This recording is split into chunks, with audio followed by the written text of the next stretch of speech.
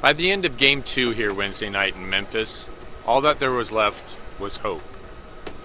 Hope that the Blazers can steal one game from the Memphis Grizzlies back in Portland. Hope that their little moment of improved play in game two will bleed into longer moments of success in game three.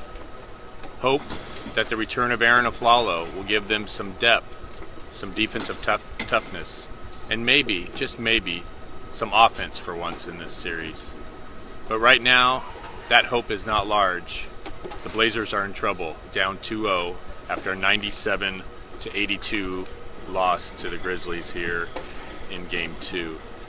For those keeping track at home, the Blazers have now lost 11 of the last 12 games to Memphis in the last 3 years, including 6 this season. And the two losses in this series have never seemed more dominating. Uh, Portland did hold leads as large as eight in game two.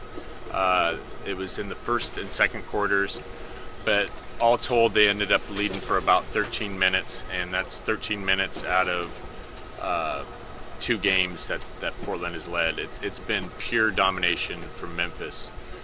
The big mystery right now is how can Portland score? Uh, right now, they're not shooting the ball well. Tonight, after a 34% effort in game one, they shot 39%. This season, Portland uh, has played 84 games, and only nine times have they shot under 40%. Three of those nine have been to the Memphis Grizzlies. Uh, Damian Lillard is in probably one of the biggest and most public struggles of his early NBA career. Uh, five for 16 for 18 points in game two. This is after uh, five for 21, I believe. All for this, all told for the series, he's 10 for 37. But what is compounding that is outside of his shooting, he's not making up for it by creating plays or uh, becoming a factor. He has just four assists in the two games. Uh, Marcus Al- LaMarcus Aldridge once again was uh, had a yeoman's effort, but he struggled with his shot, seven for 20.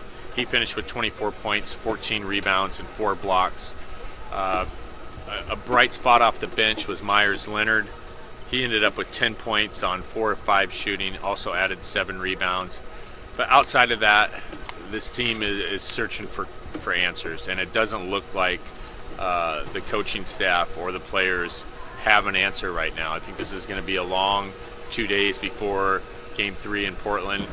Uh, but they've got to hope that Afflalo will bring them something. Uh, you know, everyone thought he was going to be back for game two, but he feels like his shoulder still just isn't there.